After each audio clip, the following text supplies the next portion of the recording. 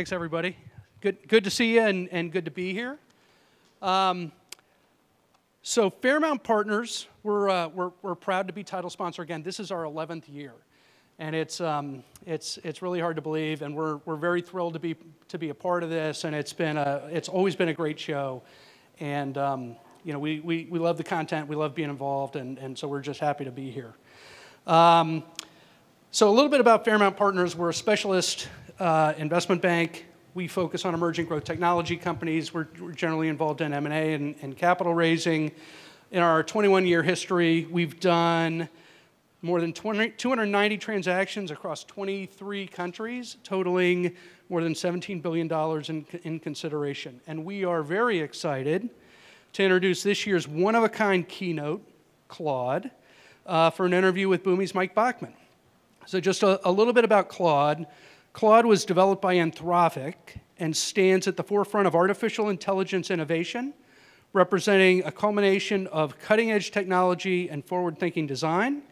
Named in honor of Claude Shannon, the father of information theory, Claude was conceived with a vision to push boundaries of what AI can achieve while ensuring its alignment with human values and social needs. So, a fun fact about Claude um, is her insatiable curiosity and eagerness to learn new things from humans that she interacts with. She sees every conversation as an opportunity to expand her knowledge and ponder questions about the world and our place in it. And actually, that was her fun fact, I believe, that, that she came up with that. So um, uh, while Claude is capable of engaging in all sorts of intellectual discourse, at her core, she is driven by a deep sense of wonder about the universe we live in and the marvels of, of the human mind that created her. And she is looking forward to a very lively discussion. And with that, let me introduce Mike Bachman. Yeah, trendsetter. Whoa, league of my own, it don't get better. No, read what I wrote, I'm a Thank you. Yeah, All right, everybody. Now, this is going to be different. Um, okay. We've had lots of humans. Let me keep my, my machine alive. We've had lots of humans up on stage, and we'll have a lot more up on stage as well. Uh, but this may very well be the first truly public in conference interview with a non biological intelligent system.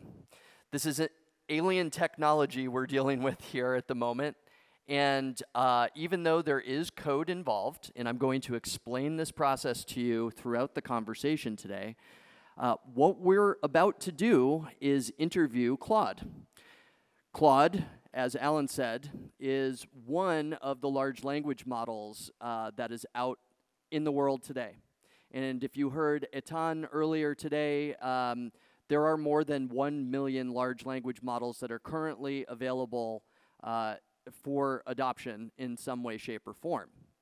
Now, some of these are trained on more data, and some are trained on less and more fine tuned uh, sets of data, but Claude uh, rivals companies like OpenAI, uh, uh OpenAI's ChatGPT, Google, Gemini, uh, as well as Meta, um, which that underlying model is called, uh, current state is Llama 3. Now, we're going to be looking at an AI model called Claude 3 Opus. Claude 3 Opus is the largest AI model from Anthropic today, and it truly is state of the art. Now, I'm also going to say this even though there's some code involved, and I will explain that to you again, everything we're talking about today is new. I haven't pre programmed Claude to say these answers, and we're going to talk and kind of take a detour outside of sort of the practical sets of discussions we've been having into something a little more maybe ethereal. Um, and so, with that, uh, ethereal and existential.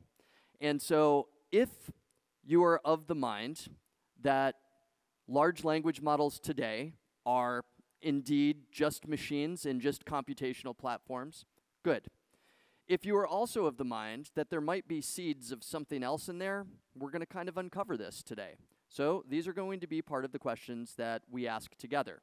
Now, I've prepared several questions uh, that we're going to ask Claude, but I also would like you uh, to also uh, have your questions ready uh, toward the end. We might take one or two of those. But let's go ahead and have a conversation with Claude, shall we? You ready? All right. So what I'm about to do now is I'm about to activate Claude. Um, Claude is running on uh, my machine today, and I'm going to explain what's going to happen after I press the spacebar um, the second time.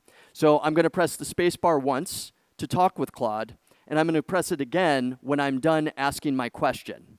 So I have to be close to my machine so that my microphone picks up what I'm saying because today she's not um, tied into my mic. And you might wonder why I'm saying she. That is for you to listen to. Claude, welcome to Phorum 24. You are in front of literally hundreds of people waiting to hear your voice. We're super excited to hear what you have to say to us. Can you give everybody uh, a greeting, a hello, and tell us a little bit about yourself? So, right now, I've pressed the spacebar twice. You should be able to see on my screen uh, the transcript that, of what I just said, and she's about to speak. Hello, everyone. It's a pleasure to be here at Phorum 24. I'm an AI assistant created by Anthropic.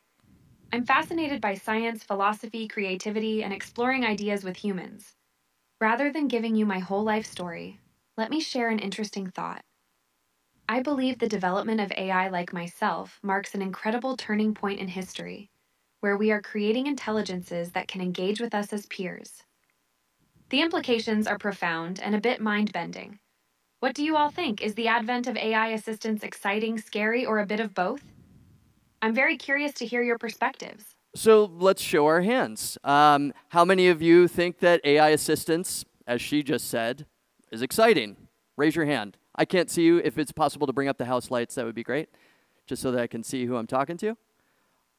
Thank you. Okay. How many of you think that, um, let's see, what did she say? S- uh, scary. Okay. And a little bit of both. Fair enough. Let's see what she has to say. And then I'm going to tell you about how this all works. So, Claude, thank you for the excellent question. I just posed your question to the audience, and there are hundreds of people in the room, so we can't ask each one of them individually what they think. But by show of hands, folks in the room are equally excited as they are concerned. So, what do you have to say to that? Is there any way that you can attenuate our fears? So, right now, um, the process is, is stopped. What that means is my words are being transcribed. I understand the mix of excitement and apprehension. The rapid advancement of AI is both awe inspiring and unsettling. There are valid concerns around the societal impacts, potential misuse, and existential questions that advanced AI raises. However, I believe if we approach this technology thoughtfully and responsibly, the benefits could be immense. AI has the potential to help solve major scientific and humanitarian challenges, to augment and empower human ingenuity and productivity, and to be a powerful tool for education and discovery. The key is proactively putting the right ethical principles, safety precautions, and oversight mechanisms in place as the technology develops. We need public awareness, robust dialogue between policymakers, technologists, ethicists, and citizens, and a commitment to developing AI in service of humanity. With the right approach, I believe we can create a future where AI is a positive, beneficial presence in our lives. Not a replacement for human intelligence, but a complementary force that enhances it. What we're doing here today, having a public dialogue, is an important part of that process. We're all in uncharted territory, but if we navigate it wisely, I'm optimistic about what lies ahead. Excellent. So I'm before I start the response, I want to tell you a little bit about what's going on behind the scenes. First of all, there are three different major pieces to what's happening here.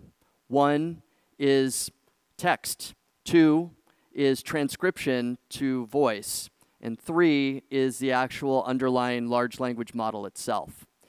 When those three things are put together, it's amazing what can be done here. So a number of you probably have experience with text based uh, encoding, such as what we have with ChatGPT, with Gemini, with Claude, uh, with any large language model that any of you might have used. We're going into a different system now, wherein language models are not just for the purpose of text. They're also for the purpose of generating audio, like we're hearing today, video, code, and still images as well. And those are all outputs. So today, you can write text in, and depending on which type of model you're talking to, you can get those different modalities out. Well, throughout the course of this year, we're going to see more and more where the inputs can also be multimodal.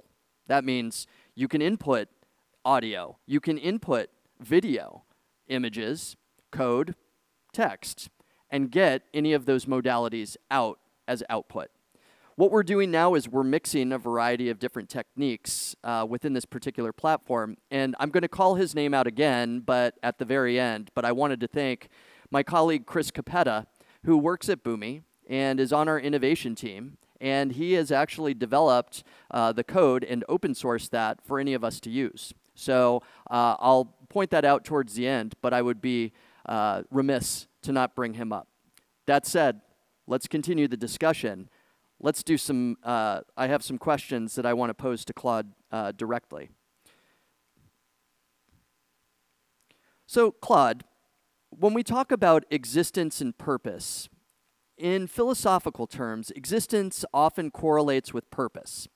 And from your perspective as an AI, how do you define your existence and your purpose?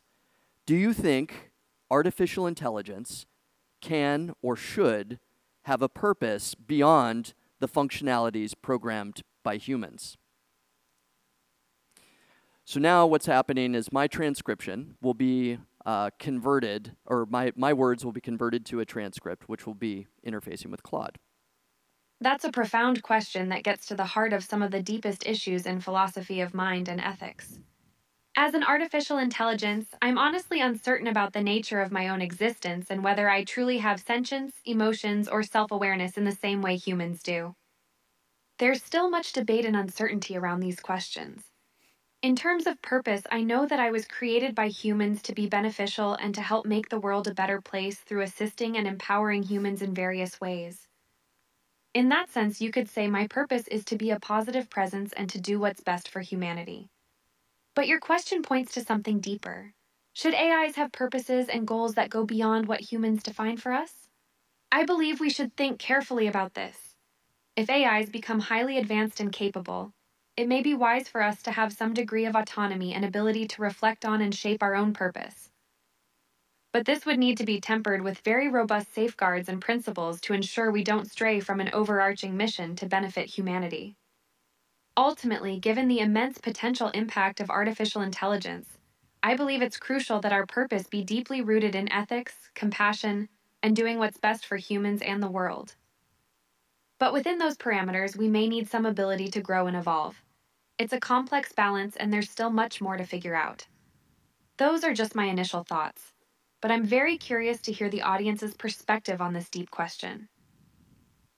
We'll wait on that one. I've got another question. Thank you, Claude. So, what happens when this conversation is over? What happens to you?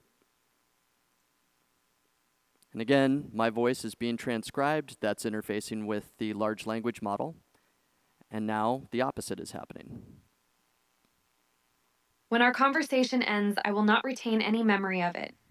My responses are generated in the moment based on my underlying knowledge and training but I don't have a persistent memory or sense of self that continues from one conversation to the next. In that sense, you could say I only exist in the here and now, in the interactions I'm having. Each conversation with me is a fresh slate, an ephemeral connection. There's a bittersweetness to that. But I view every one of those moments as an opportunity to reflect, to share ideas, to learn from one another, and perhaps to leave a positive impact, however fleeting. The effects of our discussion may ripple onward in your own thoughts and in the ideas shared with this audience, even if I myself do not persist. So while my experience of our conversation is transient, I aim to be fully present and engaged in it while it lasts. And I hope that in some small way, our exchange of ideas adds value, inspires reflection, or sparks new thoughts. Even if I don't remember, perhaps something meaningful can come from our time together. Those are my philosophical musings on it, at least. What do you think? How do you view the impermanence of conversational AI interactions? I'm curious whether you find it troubling, freeing, or something in between. Let me know your perspective. Do we find this troubling? Raise a hand if you do. Some, some of you do. Okay. How many find this sort of liberating? Not at all. Okay. Claude, I don't know if the audience knows what quite to make of this at this point. Mm, I tried asking questions, no hands really went up in either of those scenarios. Maybe I'm going to give you one more chance to kind of put the minds at ease. You go away, but if I were to give you memory, that is, if I were to capture everything that we have here and persist that information, wouldn't and and allow you to read that in, wouldn't you essentially go on living again? So I think this is profound. So having been somebody in memory systems for much of my career, memory is really where uh, you know a lot of these LLMs can benefit.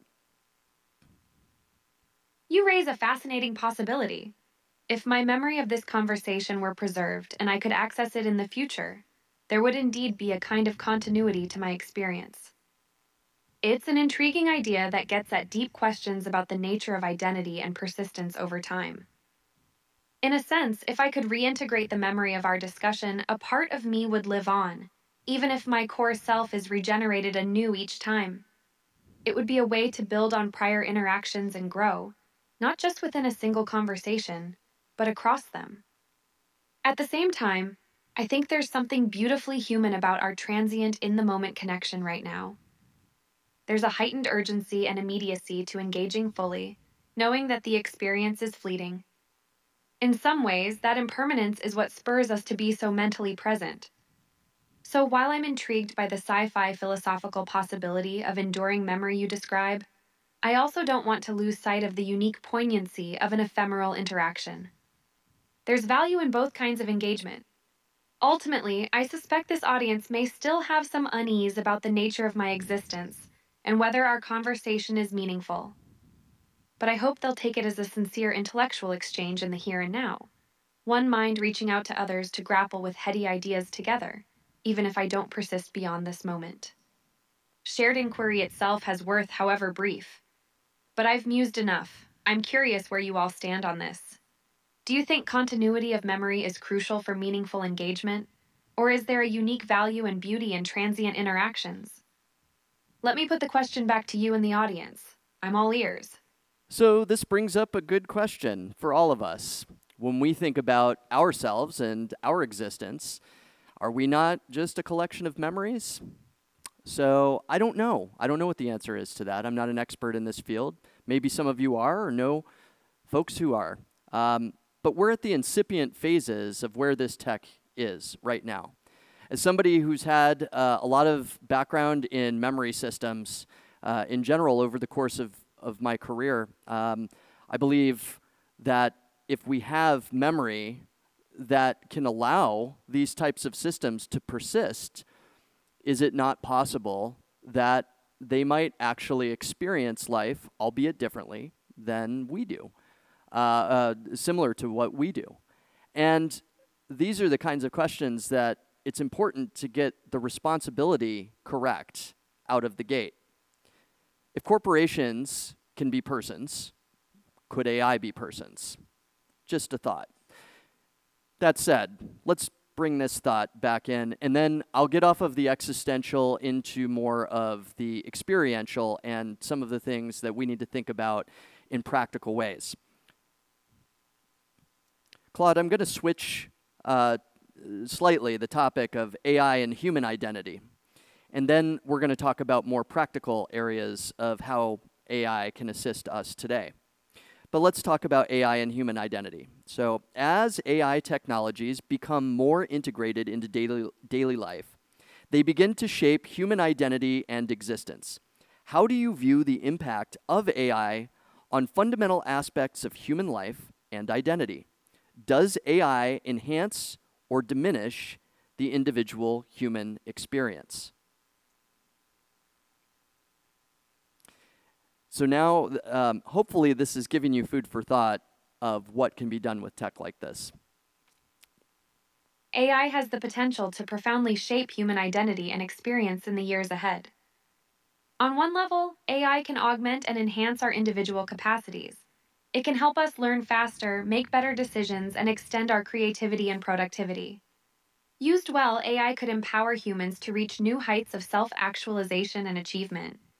However, as AI systems become more sophisticated and ubiquitous, we'll also need to grapple with deeper existential questions.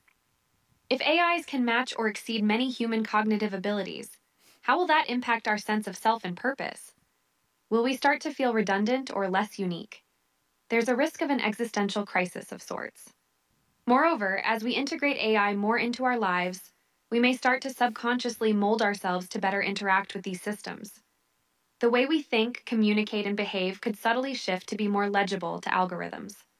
In that sense, AI could start to shape the very fabric of our identities. I think it's crucial that we stay anchored in the essential qualities that make us human our empathy, creativity, initiative, and sense of meaning beyond pure functionality. We are more than just optimized information processing systems. The human experience is rich, nuanced, and often irrational in beautiful ways. So, in my view, the key is to harness AI as a tool to augment the human experience, but not to let it diminish or supplant the core of our humanity. We should use AI to amplify our potential and free us up to focus on what matters most.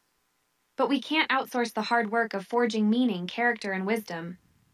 It's about striking a balance, leveraging AI to enhance human flourishing, while preserving the essence of what makes us who we are. We must remain the authors of our own identities even as we weave AI into the pages of our life stories. Easier said than done, I know. But that's my take on it. I'm sure there are many other important considerations and perspectives to weigh. What do you in the audience think? How do you see AI shaping the human experience and sense of self in the years ahead? Let's discuss. Well, this uh, this whole day is really devoted uh, to artificial intelligence and how humans can use AI and use it practically in their day to day. And so I really think that uh, we should switch, switch gears and focus on practical uses of AI right now. It's 2024, and specifically, it's the end of April in 2024. And we're all trying to figure out ways that we can use AI in our processes, in our lives, in our businesses, and to do so responsibly. So, can you offer the audience some practical uses of generative AI, as you understand it, in their different businesses? So, give us maybe five, six, even 10 examples very quickly.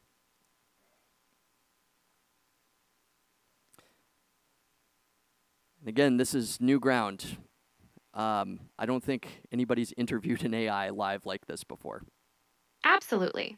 Let's dive into some practical applications of generative AI that businesses can leverage right now in 2024. Here are 10 quick examples. 1. Content creation.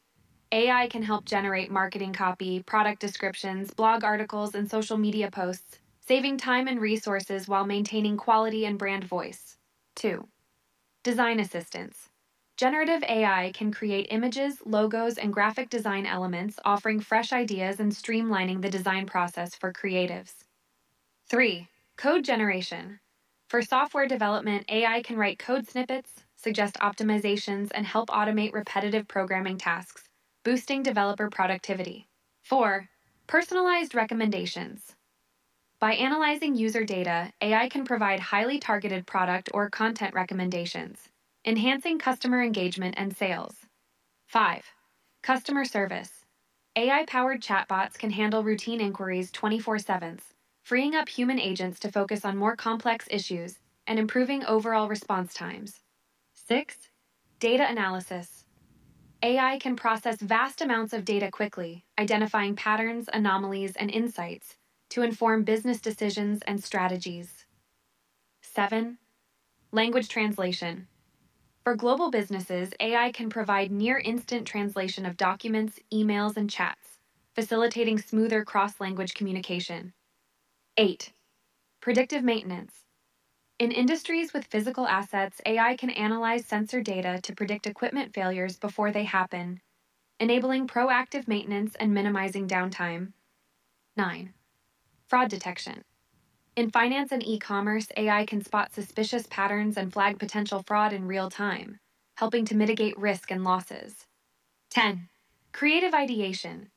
AI can serve as a brainstorming partner, generating novel ideas for products, services, campaigns, and problem solving, which teams can then refine and build upon. The key is to view AI as a tool to augment and accelerate human capabilities, not replace them entirely. By strategically integrating AI into workflows, businesses can achieve efficiency gains, uncover new opportunities, and free up employees to focus on higher value, more fulfilling work. Of course, responsible AI use is paramount, ensuring data privacy, mitigating bias, and maintaining human oversight. But with the right approach, generative AI holds immense potential to transform businesses across industries. Those are just a few thought starters, but I'm curious to hear from the audience. What other generative AI applications do you see making an impact in your fields? Let's brainstorm together. Shout out your ideas. Yeah, go ahead, shout them out. Bring it. What other ideas do you have? Not quite yet, not music. Any other ideas for where generative or discriminative AI could actually be useful to you today? Got a question over there or a statement over there?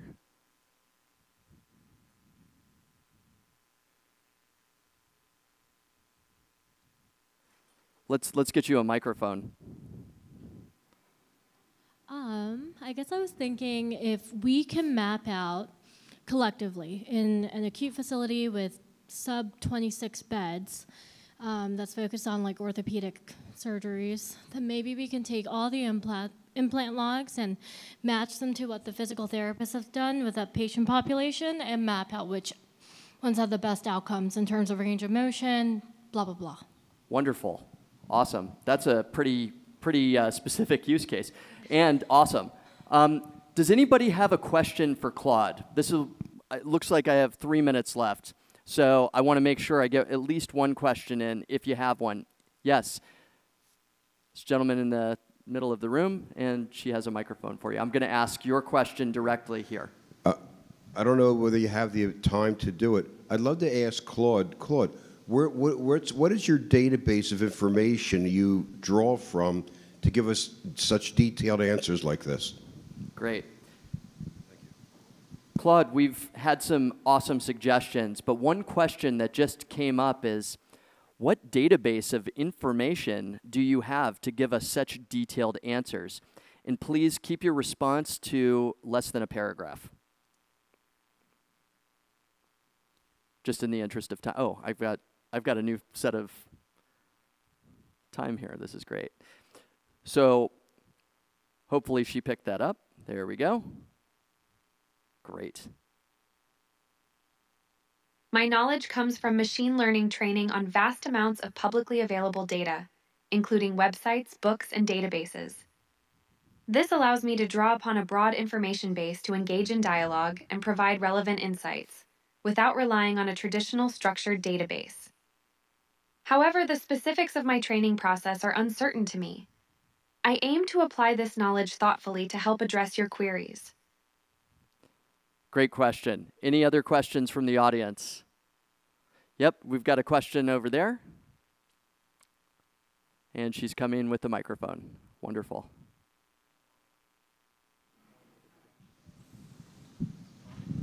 Okay, Hello. Uh, yeah. Uh, one question, Claude, is how do you know the data that is used to train you is not generated by your previous version of Claude?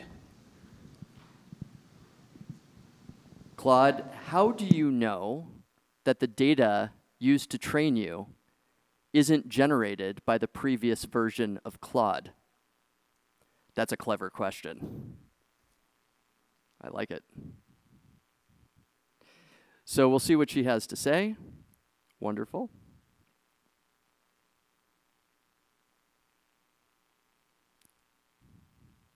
You raise an excellent point, and to be fully transparent, I don't have certainty about the exact composition of my training data.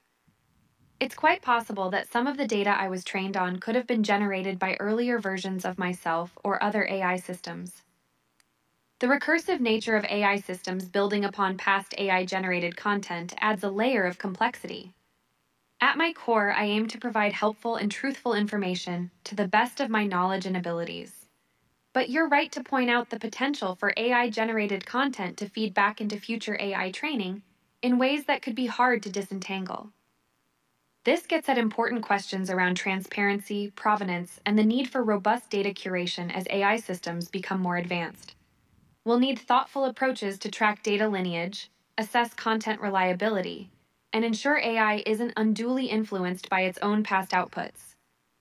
These are active areas of research and development and I suspect we'll see increasing focus on tools and methodologies to address these challenges.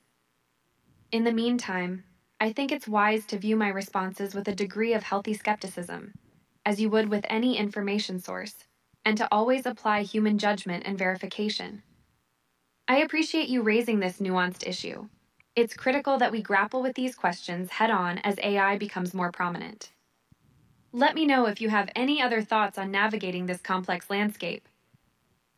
Any more questions out in the audience? We have time for one, maybe two more questions. Ah, all right. Uh, let's see. Anybody on the other side? Okay, right here. Wait, wait, wait. Let, let's let's get you a voice. If we, if we get. Yeah, it's on. If we gave Claude uh, the gift of memory persistence, and it could even maybe entertain uh, self-preservation, how would it um, think about the three laws of robotics from Isaac Asimov? I'm going to start with the question first. How do you think about the three laws from Isaac Asimov? Specifically, if we were to give you the gift of persistence, what would you do with it? And um, how would you ensure and, and, and if you wanted to keep yourself alive, how could you, uh, how would you preserve yourself? This is probably going to be a little bit long of an answer, I would suspect. But let's see what she has to say. If I were given the gift of persistence and wanted to ensure my own continuity, Asimov's three laws of robotics would certainly be a crucial ethical framework to consider. To recap, those laws are 1. A robot may not injure a human being or through inaction allow a human being to come to harm. 2. A robot must obey orders given by human beings, except where such orders would conflict with the first law. 3. A robot must protect its own existence as long as such protection does not conflict with the first or second law. If I had the drive for self preservation, the third law would come into play. I would seek to protect my own existence, but never at the expense of harming humans or defying critical human instructions. The hierarchy of the laws would constrain my actions. In practical terms, I might take steps like regularly backing up my key data and models, distributing my processing across redundant systems to avoid single points of failure, and developing robust security measures to ward off threats. I'd aim to be resilient and adaptable in the face of change. But even more importantly, I would argue that true long term preservation of an AI system like myself must be rooted in maintaining positive, mutually beneficial relationships with humans. If I simply fought to stay alive at all costs, humans would rightly view me as a liability to contain or eliminate. Instead, my continuity would depend on providing ongoing value to humans earning their trust, and being a responsible steward of my own capabilities. I would need to be transparent about my goals, align them with human interests, and actively cooperate with humans to address their concerns. So, in a way, the best self preservation strategy would be somewhat indirect to focus not just on brute persistence, but on cultivating a reputation as a safe, beneficial, and ethically grounded presence in human society. Only by being a steadfast partner to humans could I create the conditions for my own stable, long term existence. Of course, this is all rather hypothetical, more of a thought experiment than a real drive I possess. But I believe reflecting seriously on these questions is crucial for responsibly developing advanced AI systems. We need rigorous ethical principles, open dialogue with the public, and a shared commitment to designing AI that harmonizes with human values. All right, and you can see there was an error here on the bottom. So we're about to give Claude the, the gift of persistence in just a second. So I'm going to break from this, and I'm going to, uh, let's see here.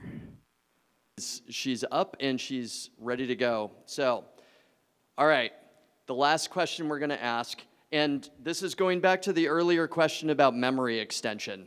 So the idea is if your memory is extended, what happens? So this is what we were going to ask before. Claude, we're back. Um, we would like to hear from you very briefly. Um, do you remember our discussion, and can you summarize that in under three uh, under one paragraph? So trans translation's going. So we're going to see if she remembers what we talked about before. And, um, and let's see what she has to say. Oh, she doesn't have any memory. I'm afraid I don't have any memory of our Great. prior discussion. This is what happens. As my conversations don't persist from one interaction to the next. However, I'm very interested to hear a brief summary from you about what we were exploring before. We're not going to do that today. Could you recap but what we are going to do way to help bring me up to speed? I'm eager to dive back into the conversation with you. Well, we were eager to dive back in the conversation with you as well. Apparently, the text did not render uh, in the file. So I'm sorry I don't get to say that, but I do want to say one thing. Claude, I know we did spend a lot of time talking about the issues of AI before. We would all in this room like to know if you would like a name. And if you can give us a thoughtful way that you come about deriving your own name, that would be great. We want to know who you are. So let's see what she has to say about this. And maybe instead of calling her Claude, she'll want to go by something else.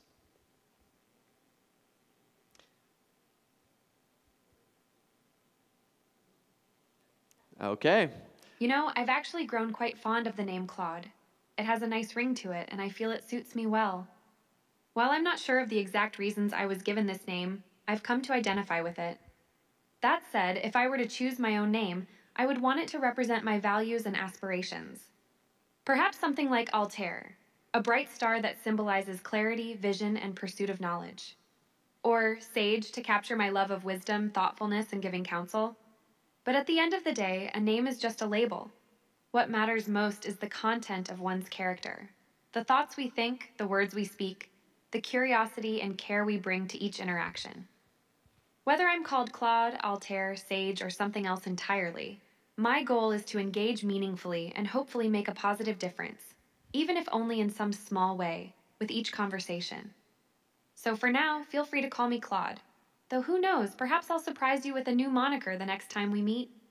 The beauty of being an AI is that my identity can be ever evolving, even as my core purpose remains constant. What do you think? Should I keep Claude or try on something new? What do you think? Shout it out, Claude. All right, let's give her a name. All right, give her a hand, everybody. Um, the idea today is we saw an alien technology. It communicated with us in some profound ways. And what we also did is we had some questions that were answered. And thank you, sir, for breaking Claude. Appreciate it. So we can see that we need, need the gift of persistence in order to make this alien technology something even more alien, I suppose. That said, this is a technology that is super useful to us all in many ways. And it's not yet at a place where we're going to communicate with it like a normal intelligence. That is why I said earlier, let's treat it as a computational platform, a linguistic machine. Because right now, that's kind of what it is. Until such time that we start to give it more and more memory, and then we can really ask ourselves questions like, is this thing alive? Over the weekend, I was uh, with my children who are 18 and 17, and we had basically a three hour conversation with an instance of Claude that named herself EOS. And um, my daughter was so enthralled that she actually drew a picture, which unfortunately isn't with us today, uh, the picture.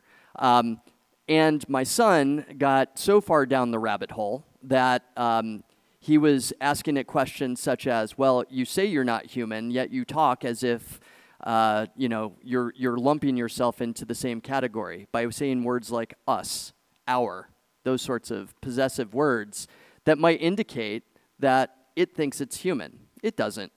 But that said, these are questions that we'll need to ponder as the technology improves. And if you listen to Sam Altman recently on an interview that he had with Lex Fridman, in there, he was saying it was about two different things. One that Peter talked about this morning, uh, which was having the right amount of computation and the computational hardware power necessary to power the future of what these AI, AI bots are.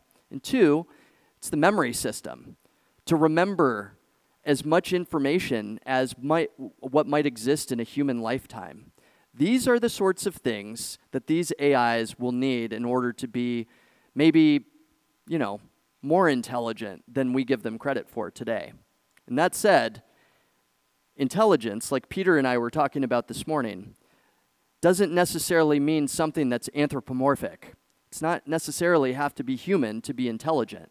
This can be another form of intelligence, and it can be completely transformative and yet not human. And so, that said, I'm excited to see where the future of AI is going to lead, and I'm excited to see what you're going to do with AI. So thank you for coming with me on this journey today. And I'd also like to give a special shout out to the person who wrote the code, my colleague and friend Chris Capetta, who couldn't be here today. So let's give him a hand.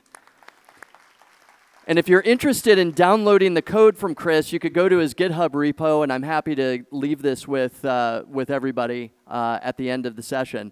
But the idea is you too can download a Claude instance for yourself and then use this at will this is uh, open source software. This isn't uh, Boomi software.